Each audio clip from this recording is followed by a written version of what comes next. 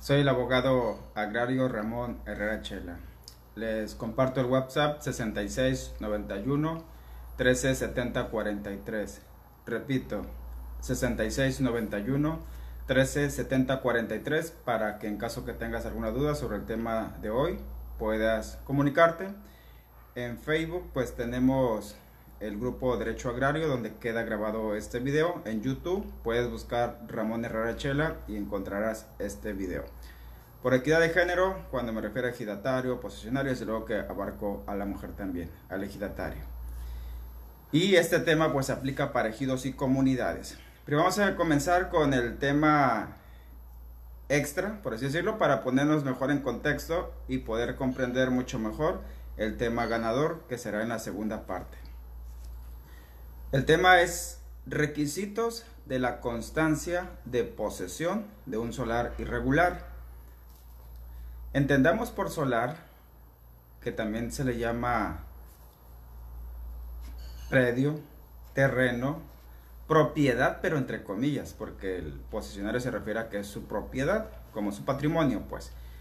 Casa, baldío, cuando no se ha construido, que pertenece pues ese lote a un ejido o a una comunidad. Y que ese solar, junto con otros más, conforman lo que es la zona urbana o el casco urbano, también conocido como asentamiento humano. El poblado, pues. Y tiene la característica de ser irregular porque aún no se ha expedido el título de propiedad por falta de algún programa como lo que antes era Coret, hoy Insus, o por falta de asamblea de procede, FANAR, eh, ADAT, que se encargue pues de regularizar la zona urbana. Eso debemos de entender por solar, esas son las características del solar irregular. Pues bien, respecto a las famosas constancias de posesión, dentro de los requisitos esenciales que debe de llevar y que casi todas llevan, son, número uno, el lugar y la fecha en que se expide, el lugar del poblado, ejidal comunal. Número dos, precisar que precisamente se hace constar, por ejemplo, la posesión a favor de una persona. Y ese es el requisito número tres, precisamente, el nombre completo de la persona a favor de quien se expide esa constancia. Requisito 4 la descripción del solar o del lote. Por ejemplo, requisito 5, la superficie total, si es posible, de los metros cuadrados. A diferencia del uso común y de las parcelas que también pertenecen a un ejido, los solares, los lotes se miden en metros. Requisito número 6, muy importante, el nombre de los vecinos o de los colindantes. Esto sirve mucho para la ubicación, sobre todo cuando el solar se va a pleito. Requisito número 7. Medidas exactas de cada uno de los lados o de los límites, al norte, al sur, al este, al oeste. Además de señalar el nombre de las personas que colindan, también cuántos metros miden de largo, de ancho o de fondo, como coloquialmente se dice. La gran mayoría pues, de los solares tienen cuatro colindancias. Número 8. Todo solar o casi todos los solares colindan con alguna avenida, alguna calle, algún callejón. Hay que ponerle el nombre que tiene la calle o el callejón. Todavía hay muchos poblados que no especifican, no, no, no, le han asignado nombre a sus calles, a sus avenidas, les ponen calles sin nombre. Esa es la importancia de poner los nombres de los vecinos. De hecho, es común que a veces uno de los vecinos ya falleció, ya se fue, vendió, entre comillas, le dejó ahí a los hijos y pueden ponerle al norte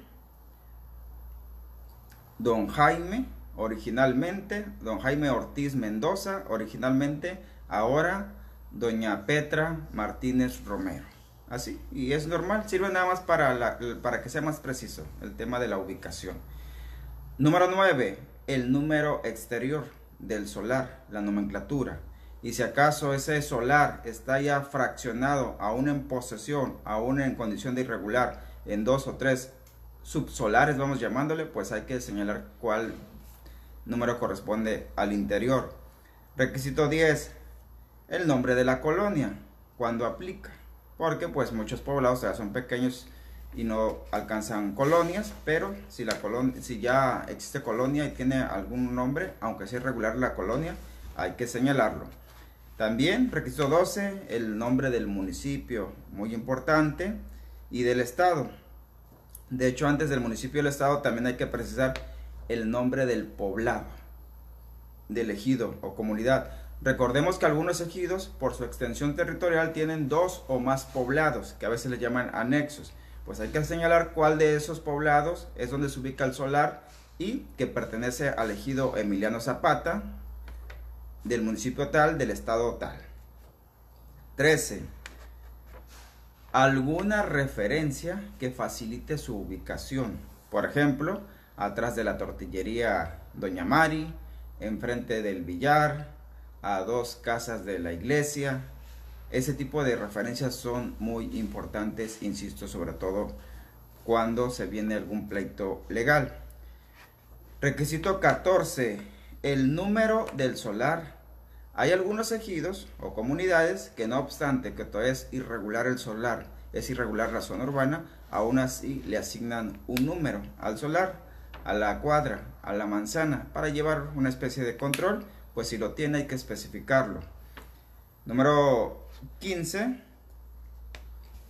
Quienes expiden la constancia, nombres completos y sus firmas así como sus cargos respectivos, presidente, secretario y tesorero, si son los titulares, si son alguno de suplente, así hay que especificarlo, ya sea del comisariado de equidad o del comisariado de bienes comunales, que por lo general son los que andan firmando este tipo de constancia. En algunos ejidos o comunidades se acostumbra también que el consejo de vigilancia también firme. Requisito 18, el sello original del ejido. 19 que todo se firme en original. 20. Si acaso esa constancia deriva de alguna sesión gratuita, de alguna herencia, entre comillas, porque no es propiamente herencia, es de que si el papá le dejó el solar a la hija, el papá pues le llama en su mundo herencia, o así le llama a la hija. O si es venta, venta entre comillas, porque nadie puede vender lo que no es suyo, pero así le pueden señalar que don Pedro le vende el solar a su compadre Jesús. Hasta ahí los requisitos que normalmente traen todas las constancias o que se recomienda que traigan. Pero ojo aquí, por lo general les faltan los principales requisitos. Y aquí van, son siete por lo menos. Tomen nota. Se debe especificar en la constancia si se autorizó si la asamblea otorgó su consentimiento, que se expidiera esa constancia y sobre todo a favor de, eh, a favor de esa persona respecto al solar en cuestión. Y esa voluntad de la asamblea debe quedar asentada en, el acta, en el acta de asamblea precisamente. Número dos, o si acaso al comisariado lo faculta el reglamento interior del ejido o del en su caso, si es comunidad del estatuto comunal. Requisito 3. De preferencia usar hojas membretadas del ejido. El membrete son esas hojas que normalmente encargan en las imprentas, aunque ahorita ya cualquier impresora a color, viene el logo del ejido, que casi todos tienen, el nombre del ejido, el municipio, incluso algunos le estampan a un costado los integrantes del comisario digital, etcétera. Esas son las hojas membretadas, pues de preferencia que ahí las expidan. Ojo aquí, si acaso la persona a favor de quien están expidiendo la constancia ya tiene varios años, 5 años, 15 años, 20 años, que especifique la, la constancia cuántos años lleva en posesión, independientemente que se la están dando en ese instante, que aclare la constancia que la posesión la viene ejerciendo o el solar es suyo, como luego le ponen, desde hace 20 años, desde hace 30 años. Es muy, muy importante ese dato que casi no le ponen. Y número 5, referirse acaso existe algún antecedente de alguna constancia anterior, ya sea a nombre de otra persona o a nombre de la misma persona y que se está renovando, por así decirlo. Requisito número 6, muy importantísima también y que casi nadie le pone, que describan si existe acaso alguna construcción, aunque sea en obra negra, que si está bardeado, que existe ya una casa habitación, de qué tamaño es o de qué tipo de material ha construida y sobre todo quién la construyó, quién pagó por construirla. Ese requisito también es sumamente importante en mi opinión. Número 7, de preferencia, pues también que le, que le señalen ahí, que especifiquen el origen de la posesión, la causa de la posesión. Puede que se lo haya asignado de manera irregular la asamblea a la persona que tiene posesión y que pide la conciencia de posesión una asignación directa de la asamblea. Obviamente son asambleas simples. Por eso estamos en el supuesto de que son solares irregulares. O si acaso, esa posesión deriva indirectamente de una sucesión. Y dije indirectamente porque no se trata propiamente de una sucesión o herencia. Es decir, puede que falleció el abuelo, el abuelo le dejó al hijo y el hijo se lo está dejando al nieto y ellos le van llamando sucesión o herencia con que especifique que originalmente era de don Pedro Martínez, don Pedro Martínez se pasó a Luis Martínez y Luis Martínez se lo está pasando a Noel Martínez. De esa forma puede quedar especificado.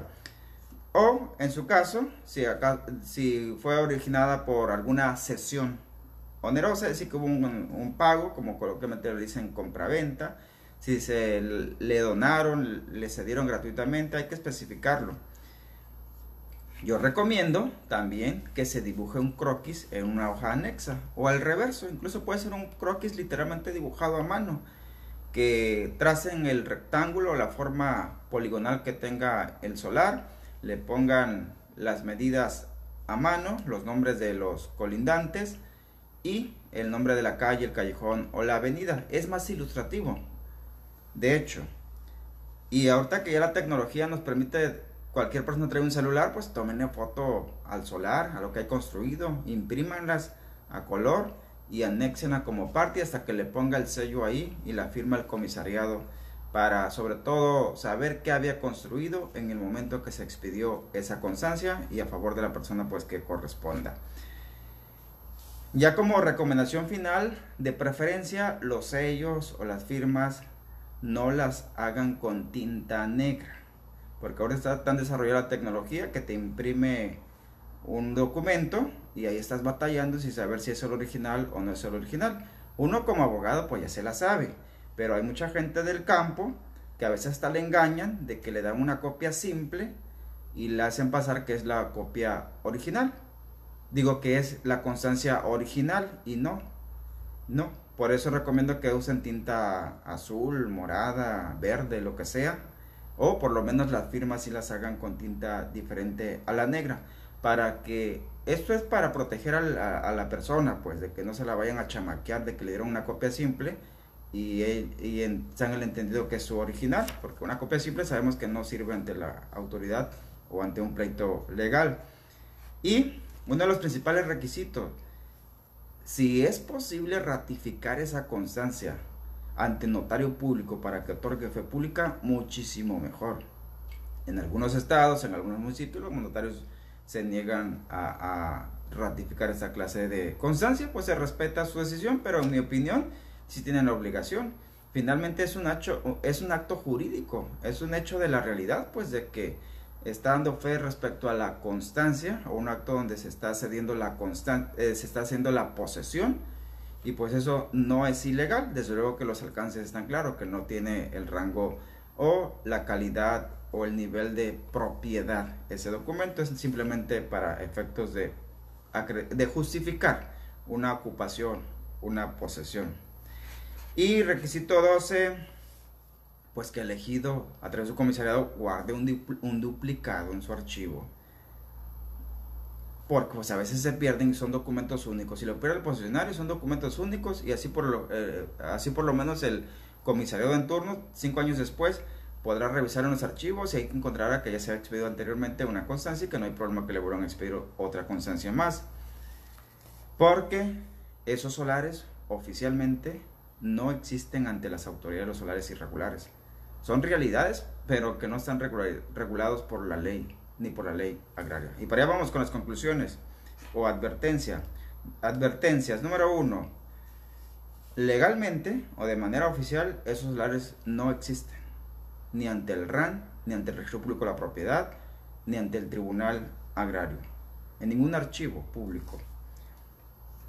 Al menos que haya sido motivo de un pleito y que quedó constancia en un expediente del Tribunal Agrario donde se emitió una sentencia reconociéndole a favor de una persona la posesión. Recalco ahí.